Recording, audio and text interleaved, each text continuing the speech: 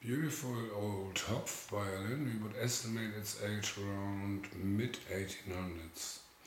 Our luthier uh, transformed it into a five string violin, so it received a lower C string. The violin shows a nicely flamed two piece maple back and a finely grained spruce front. It received new ebony pegs, new ebony chin rest and ebony tailpiece, as well as a new bridge and new strings.